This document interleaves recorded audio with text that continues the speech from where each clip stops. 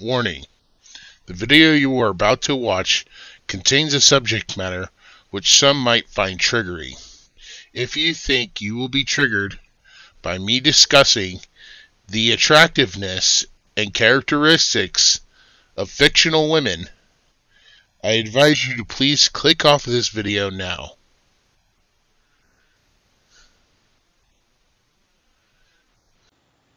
Hello, and welcome back to another Writer Wizard podcast. In today's episode, I am going to be ranking my thoughts on the top 10 women of One Piece.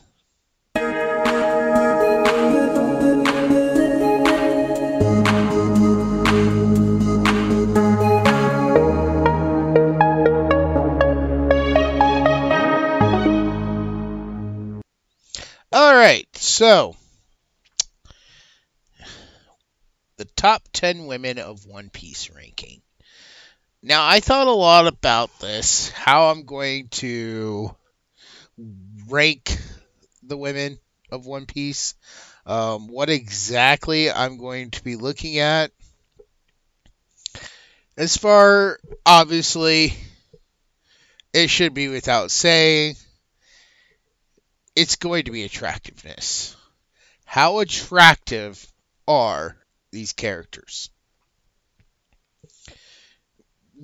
Now, my list is probably going to differ from yours immensely.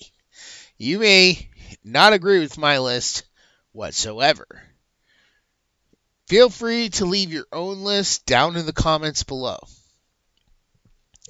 But besides looks, I'm also going to be looking at a few other characteristics. How important are they to the story? Um, how they act. If I have an issue with how they act, I'll probably point it out here. Um, and just all in all, what kind of like what draws me to them. And yes, a lot of the things that's going to draw me to some of these characters is the attractiveness, but I'll point out other things as well. So let's go ahead and jump right in. We're going to start with five honorable mentions. These five women almost made the list, but just didn't quite get there. So, starting off with our first honorable mention Big Mom. I know, you're probably shocked. Big Mom? No. Before you go typing anything in the comment section, let me clarify. This is the Big Mom during her time with the Rocks Pirates. Not when she was young, any younger than this, and definitely not when she's older for some reason, Big Mom was a weird character. Uh, Oda decided that at one point in Big Mom's life, she was going to be insanely attractive. I mean, how else does she have like a hundred kids?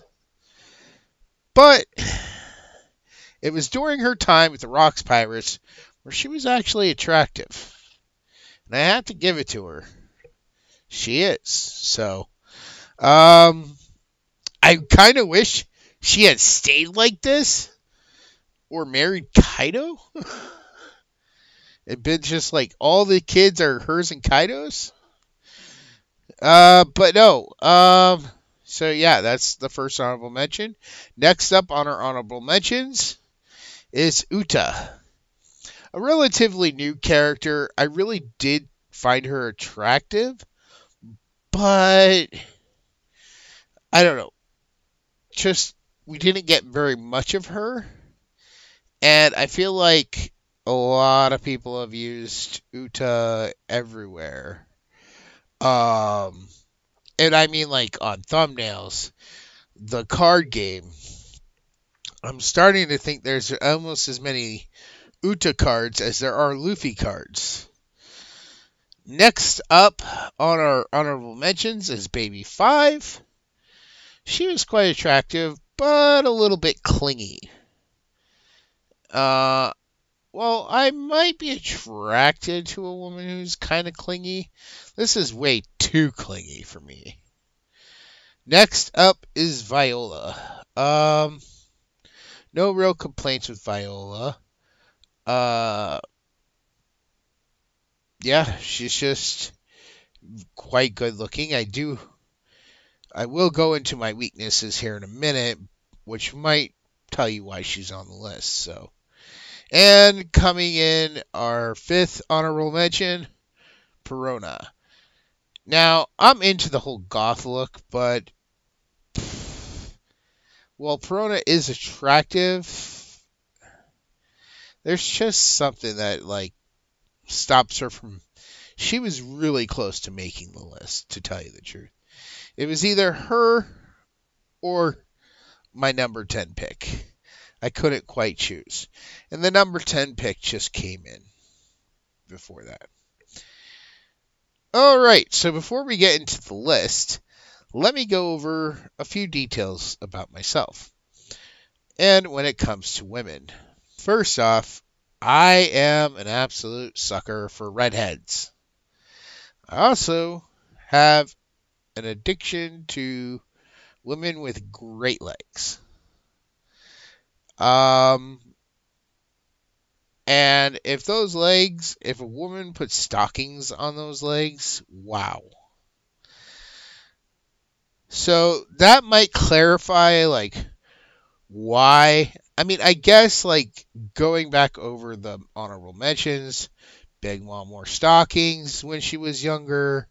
Uh, Perona, she sort of wears stockings. It's more like almost leg length socks, I believe. But uh, they might be stockings.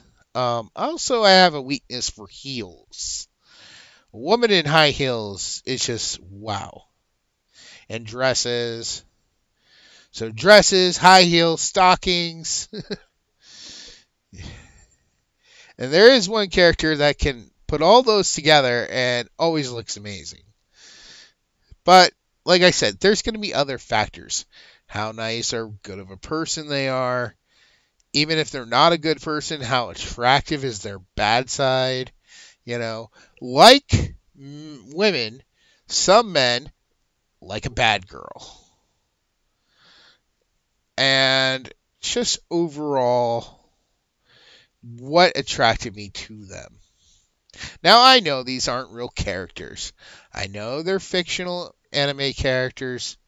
I'm not saying I'm not joining the waifu cult, but if I had the ability to have a waifu that uh, people who are into anime and manga would call it, I guess is out of One Piece, this would be my top tens of who would I want. So starting off at number 10 is Vivi Nefertiti. Um, first off, she has beautiful long hair. It is blue, eh, which doesn't come off very natural, but oh my god, does she look very nice in a dress. Uh, she's sweet, she's innocent, and that's not just, you know, how she looks, that's also kind of her personality. Which you know, a lot of people say they want her to join the Straw Hat crew, and I just, I don't know if where they're at now, if she'd be able to be on that same level. Uh, I mean, some of the crew members we have aren't even on half the other crew's level. You know, Chopper, Usopp, you know, maybe even a little bit of Franky. I mean, Franky does have a little bit of an edge. Nami, you know, but these characters, they're not as good or as experienced with fighting or as good with fighting as like Sanji, Zoro, or Luffy, you know, who's Luffy is, you know, using Haki. I figure all the other crew members would be using Haki as well. Now, maybe Vivi could have learned Haki or something, but I just don't feel that she's quite there yet. So moving on to number nine, Rebecca. Now, Rebecca, much like Vivi, she does have that sweet innocence about herself. And my God, Oda's version of the Princess Leia slave outfit, which is how I always refer to her outfit from Dressrosa, it honestly, I think it's better than the Leia slave outfit. Like, it's it's better. It's more attractive. And I mean, it does maybe cover up a little bit more or cover up a little bit less. I'm not really sure how to say that, but oh my god, it is amazing. And she knows how to fight. I think just a little bit better, but she does cower quite a bit. She can fight, but she can't fight. It's it's weird. Like she can only fight people on her level. She's too afraid to try to fight others. Although I think that is something she could overcome if she really put her mind to it. Now moving on to number eight. Coming in at number eight is Pudding Charlotte. Now I am going to be switching around the names to legal names like first last. If you don't like it, I'm sorry. That's how I'm doing it. I know in the Japanese culture, for some reason, they go with the surname first, then the actual name first. So I'm just doing this because that's how it makes sense for me to write it down.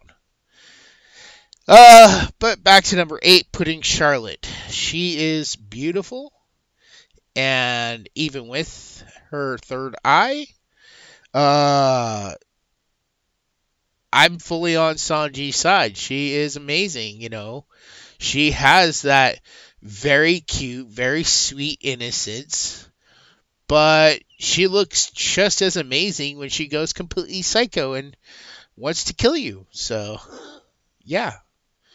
Um, she's a good fighter. She has a good story that still leaves me wanting to know what's with the third eye. I really hope we get to see her again and explore that.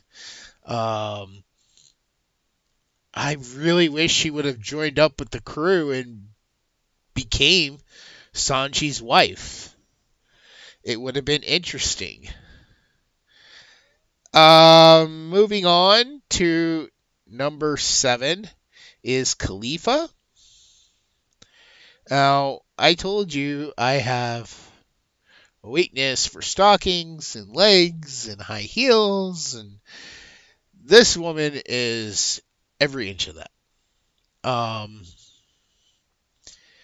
yeah, for a blonde, she is. I'm not particularly a big fan of blondes normally. Yes, there are blondes out there, and it does take a certain kind of blonde. Like I just won't go for any blonde, but yeah, Kalifa is very attractive. Probably the one of the more attractive blondes on the show. I don't think there's another blonde on this show that's as attractive as she is. And I really hope we do get to see her again, too. Next up is Hiyori Kozuki uh, also known as the Princess of Wano, uh, Oden Kozuki's daughter, the sister to Momonosuke, and she is also very quite beautiful. But uh, I, I well, she, I do agree she was beautiful. I was not a big fan of hers right at first because she was using that uh, those looks to cheat men out of money. And then it wasn't quite clear at first that, oh, these are bad men, and she's, you know, taking their money so she could turn around and give it to the poor. I thought she was just trying to ruin people's lives and getting a thrill out of it. And it wasn't until later I was like, oh, okay, but yeah, she still used her looks and I mean, that's fine. I've always been a big advocate saying, you know, that is where a woman's true power lies. The hotter the woman, the more they're going to get out of people because of how they look. If you need any evidence, look at our society.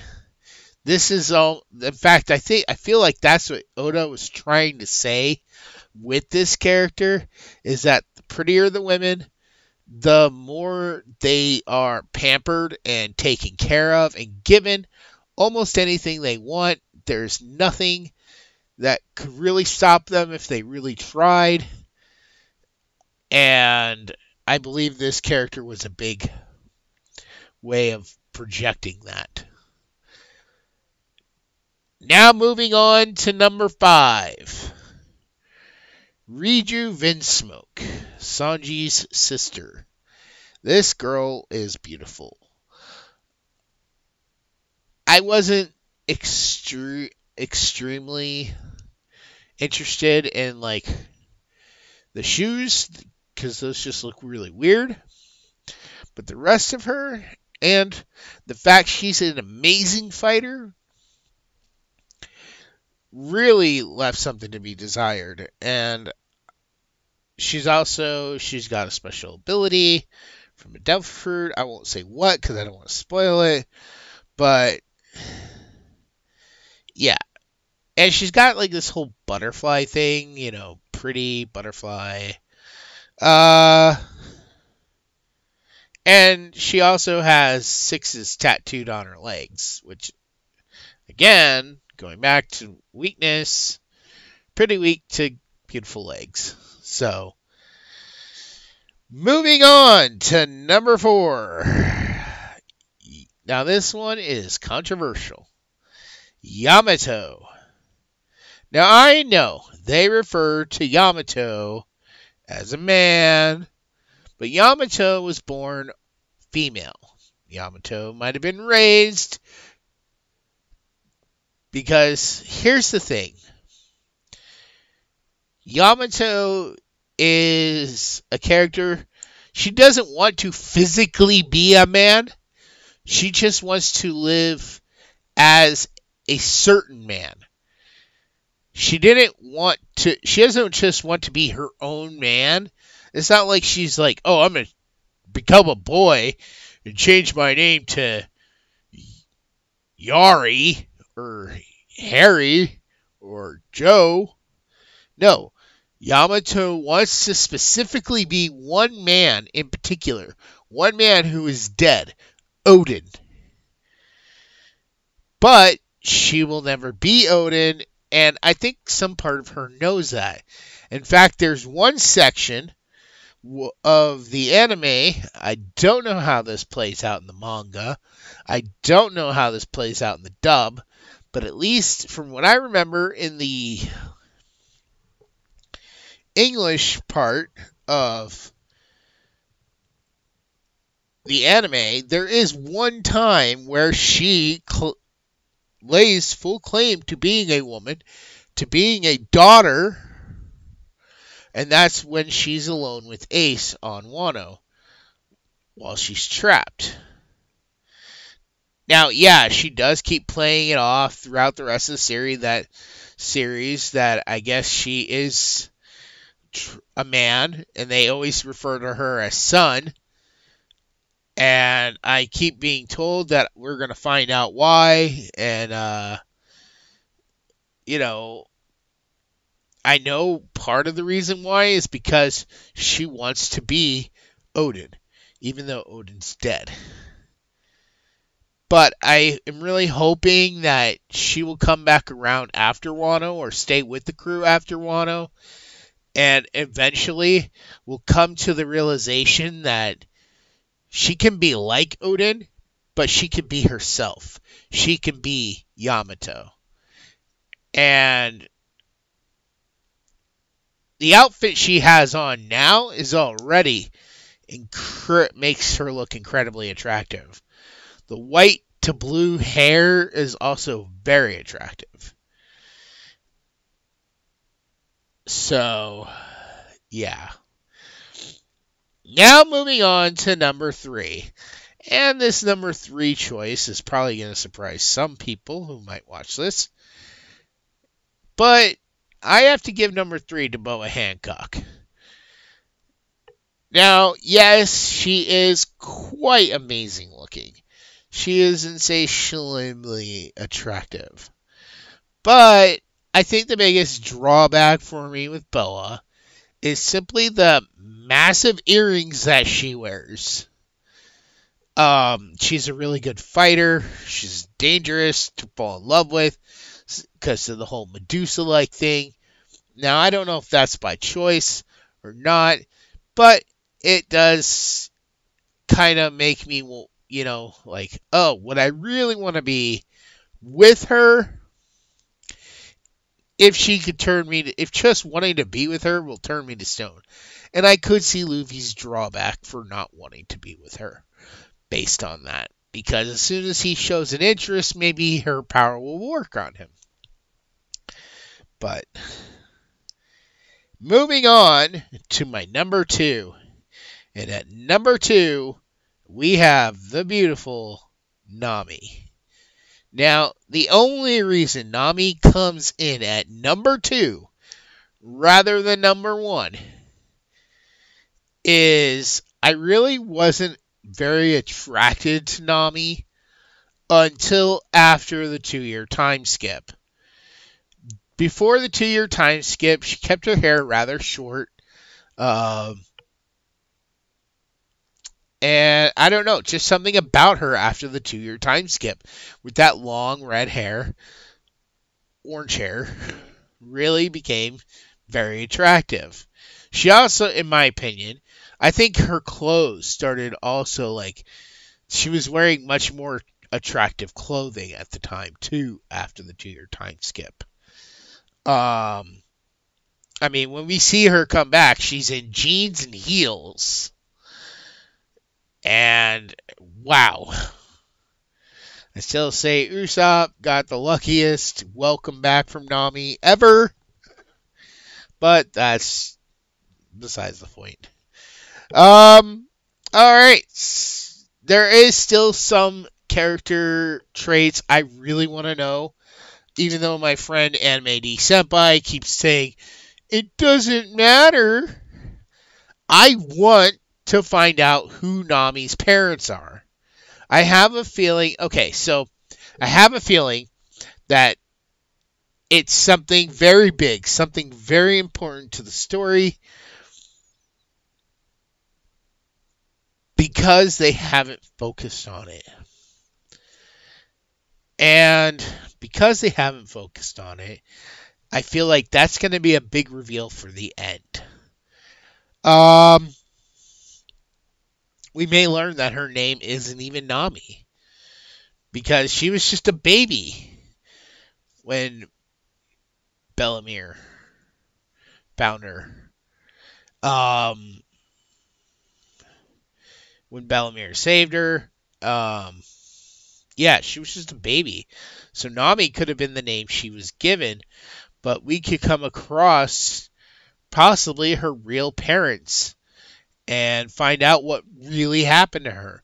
Also, there was this thing that was set up, part of her, you know, being such a good navigator.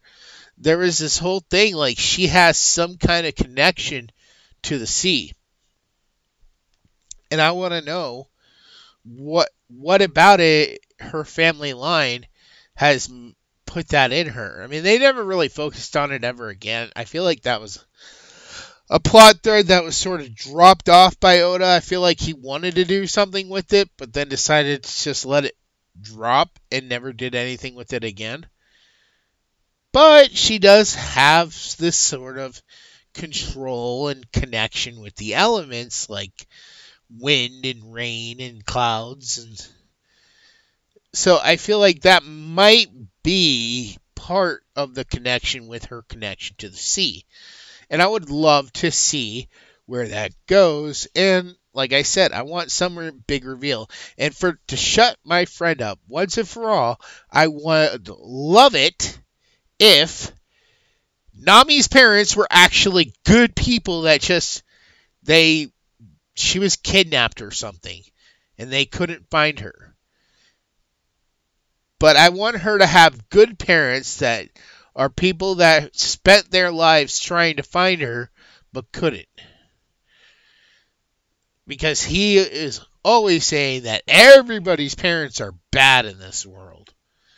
Even though they do showcase some good parents, and he just completely glosses over that. But let's move on to the number one pick. And I'm sure you guessed it by now. Number one goes to Robin Nico, or Nico Robin.